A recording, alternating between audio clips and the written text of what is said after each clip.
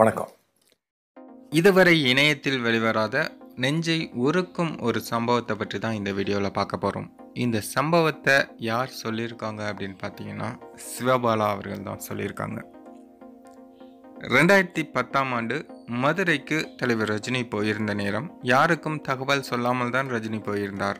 ஆனாலும் எப்படியோ விஷயம் கசிய தலைவரை பார்க்க பலரும் விமான நிலையத்திற்கு வர துவங்கிவிட்டார்கள்.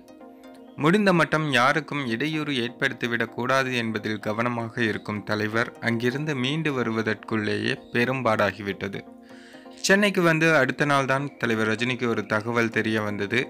மதுரையில் தலைவர் ரஜினியை சந்திக்க ஆவலாக வந்த ஒரு இளைஞர் விபத்தில் அடிபட்டு மரணமடைந்த தகவல் அது. இப்படி ஒரு விபரீதம் நடக்கும் என தெரிந்திருந்தால் நான் மதுரைக்கே போயிருக்க மாட்டேன் என்று நொந்து போனார் தலைவர் ரஜினி. இது போன்ற நிகழ்வுகளை யாரும் நினைத்து பார்க்க முடியாது. விஐபிக்கள் போகிற போது தவிர்க்க முடியாமல் நடக்கும் விபத்துகளுக்கு நாம் என்ன செய்ய முடியும் என சொல்லி அந்த வழியிலிருந்து தலைவரை வெளியே கொண்டு வந்திருக்கிறார்கள் அவரது குடும்பத்தினர். ஆனால் ஒரு வாரமாகியும் கூட தலைவர் ரஜினியின் மனது சரியாகவில்லை. மன்ற நிர்வாகிகள் மூலமாக உடனே கார்த்தியின் குடும்பத்தை சென்னைக்கு வரவழைக்க சொன்னார். மதுரை மன்ற நிர்வாகி பழனி பாஷாவுக்கு உத்தரவு பறந்தது.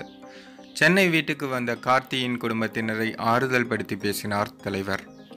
கார்த்திக் சகோதரிக்கு வரன் பார்க்கும் தகவல் அறிந்து நல்ல மாப்பிள்ளையாக பாருங்க திருமணத்தின் போது அவசியம் சொல்லுங்க என்று சொல்லி உதவியாளரை வரவழைத்து கையில் நான்கு லட்சம் பணத்தை கொடுத்தார்.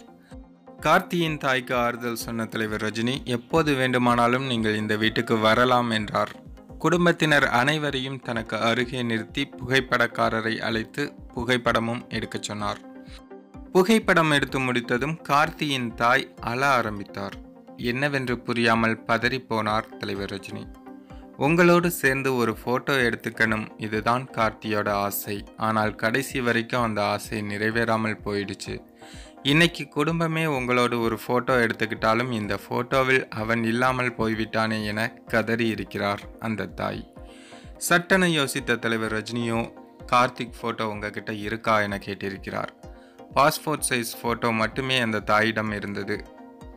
உடனே மன்ற நிர்வாகியை அழைத்து அந்த ஃபோட்டோவை பெரிதாக்கி லேமினேட் பண்ண சொல்லி அது வந்தவுடன் அதனை தன் நெஞ்சுக்கு நேராக வைத்து கவலைப்படாதீங்கம்மா நானும் கார்த்தியும் சேர்ந்து ஃபோட்டோ எடுத்துக்கிட்டோம் என்று சொல்லி அந்த ஃபோட்டோவை கொடுத்திருக்கிறார் தலைவர் ரஜினி.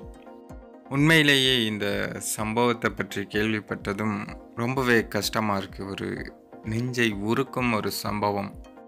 அந்த குடும்பத்திற்காக தலைவர் ரஜினி இந்த அளவுக்கு ஆறுதல் விஷயங்களை பண்ணியிருக்கார் அப்படின்னு நினைக்கும் போது இறுக்கமான மனசும் சற்று இலகித்தான் போகிறது. வாழ்க தமிழக மக்கள் வளர்க தமிழ்நாடு.